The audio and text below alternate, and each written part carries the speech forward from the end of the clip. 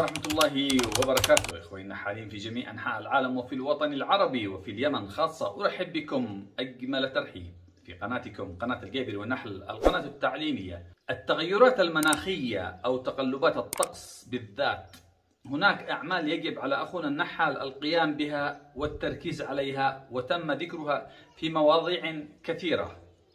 ولكن في هذه المحاضرة يتطرق الأستاذ الفاضل الأستاذ الرشدي زريقي إلى أمور دقيقة ومفصلية في هذا التوقيت بالذات. أوقات الصيف وتغيرات الطقس أو تقلبات الطقس وتغيرات المناخ لها أعمال فريدة يجب على أخونا النحال القيام بها والتركيز عليها. وكيف نتفادى الوقوع في الأخطاء؟ محاضرة قيمة فكونوا معنا. سؤال أخونا على الخاص فهو والله كان سؤال في يعني في وقته وسؤال آه، يعني آه، مهم جدا وحساس. آه، فإحنا معروف إحنا في منطقة الوطن العربي في عندنا تقلبات جوية كبيرة جدا خاصة في فترة في الفترة الانتقالية ما بين الفصول. وأكبر فترة انتقالية بين الفصول بصير فيها تقلبات جوية هي الانتقال من الربيع إلى الصيف والانتقال من الخريف آه، إلى الشتاء. في هذول الفترتين بصير في عندنا تقلبات جوية كبيرة. مثلا يعني إحنا حاليا في بلاد الشام نتعرض إلى أجواء بارده باردة. يعني آه، حاليا ممكن تكون آه، أكثر من من المعدل الطبيعي بحوالي سبع درجات ثمان درجات وعشر درجات. وعندما ترتفع درجات الحرارة وفي شهر خمسة بيكثر الأجواء الخماسينية اللي هي بتتصف بدرجات الحرارة المتطرفة. ما بين تكون آه، تصل أحيانا إلى آه، يعني تلامس الأربعين أحيانا في معظم الوطن العربي وتكون مصحوبة برياح شرقية جافة. مسيئة جدا هذه الرياح لكل لكل الزراعة يعني ليس فقط للنحل ولكن بالأشجار حتى في الثروة الحيوانية والدواجن. آه، السؤال يعني اللي هنا يتبادر إلى الذهن. كيف يتصرف النحال في هذه الأجواء المتطرفة؟ أحيانا يعني تنخفض درجات الحرارة كما هو اليوم كان عندنا درجات الحرارة 15 آه، درجة وفي آه، النهار كانت يعني 24 أو 23 هذه أجواء شبه شتوية رغم أنه إحنا انتقلنا إلى مرحلة الربيع. والمفروض أنها تكون درجات الحرارة تلامس آه، الثلاثين نهارا أو تزيد عن الثلاثين نهارا. ب 22 23 25 ممكن تكون آه، ليلا. هذه الأجواء الباردة حاليا مع التزامن مع بداية الموسم. يعني في مناطق عندنا بدأ النحل بجني آه، العسل. طيب لما بترتفع درجات الحرارة أو بتنخفض درجات الحرارة بيبدأ النحل باستهلاك. اللي جمعوا مثلا لفترة أسبوع. يعني في درجات الحرارة الباردة الزهر لا يفرز رحيق. آه، أو الأزهار الرحيقية تحتاج درجات حرارة 25 فما فوق و آه، في الأجواء الباردة ما بتفرز آه، رحيق. فالنحل في الأجواء الباردة بيكون صعوبة في السروح عليه. خصوصا إذا تصاحب هذه درجات الحرارة المنخفضة مع رياح كما هو الآن. أه وبنفس الوقت النحل يعني عنده حضنة فاتح حضنة كثير والأعداد النحل في الخلايا كثيرة 45 ألف 50 ألف 60 ألف. هذه كلها تحتاج إلى تغذية الحضنة تحتاج إلى تغذية والنحل برضه يحتاج أه إلى تغذية. فشو بدنا نعمل في هاي الحالة؟ يعني النحل اللي جمعه ياكلوا إحنا نتفرج عليه خصوصا إن الموسم السنة يعني الاحتمال يكون ضعيف وإحنا بدنا عسل بدنا نعوض آه، خسائرنا المادية وبدنا نعوض تعبنا وبدنا نصرف على بيوتنا وعلى عيالنا. فشو بدنا؟ شو ما هو التصرف في مثل هذه الأجواء الباردة اللي ممكن إنها تداهم تداهمنا مع الموسم. طبعا بالنسبة لهذا الموضوع أنا والله صدقا ما عملت تجارب.